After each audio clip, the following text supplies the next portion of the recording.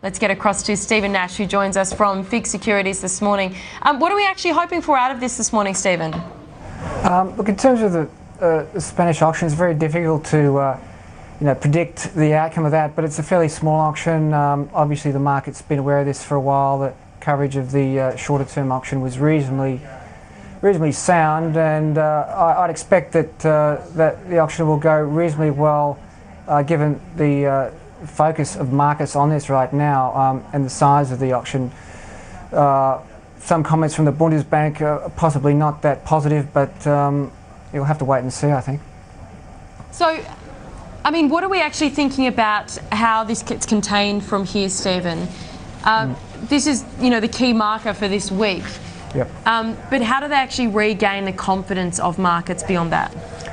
Look, I think there's got to be more uh, policy work by the Europeans broadly with regard to uh, all of the all of the countries in, in Europe, in, including Spain. Um, the Spanish banking uh, uh, problem is just not contained within Spain. There's other banks that have large exposures to Spanish property.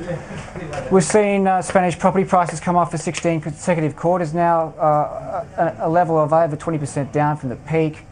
This problem is a serious one and really needs, you know, a, a serious uh, policy response. The IMF have been um, recommending uh, that banking, the banking sector doesn't contract lending, and I hope really that doesn't occur because that will exacerbate existing problems there.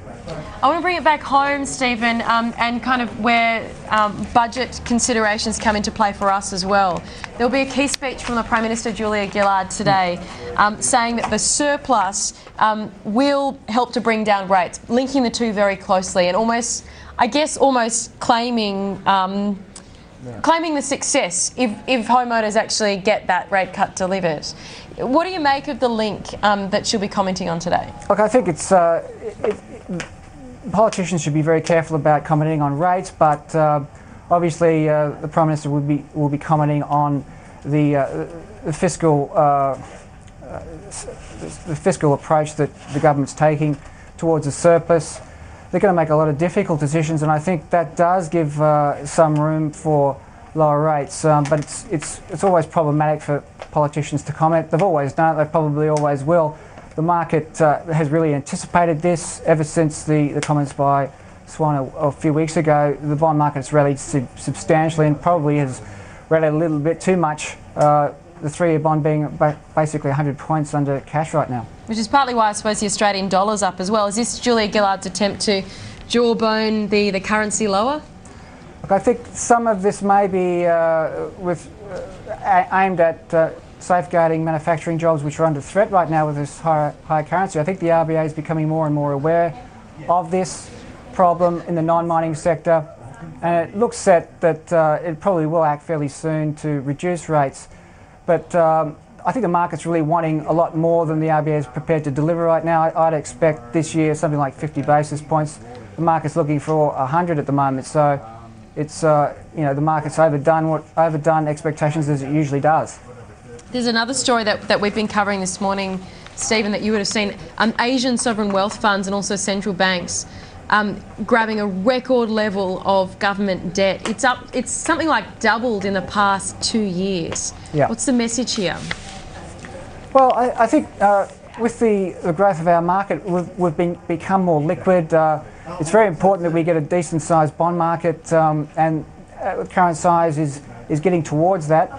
We have a very liquid currency, um, obviously a very strong rating. So, if you can uh, get extra yield uh, with a very sovereign, uh, very very solid rating, that's what these sovereign wealth funds are looking for.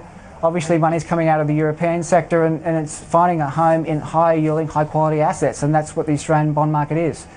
Hopefully. Um, the demand will shift from Commonwealth alone to more semi-governments, which are offering some great yields right now. Mm. I expect that'll happen over time, but um, it's, it's just inevitable that uh, these sovereign wealth funds will look towards Australia because we've got the credit quality and we've got a liquid currency. Basically got everything they need to invest, so I expect more of this to happen. Yeah, we're one of the prettiest contestants in the AAA beauty pageant, as UBS's Matthew yeah. Johnson puts it. Thank you so much, Stephen Nash, for today from uh, FIIG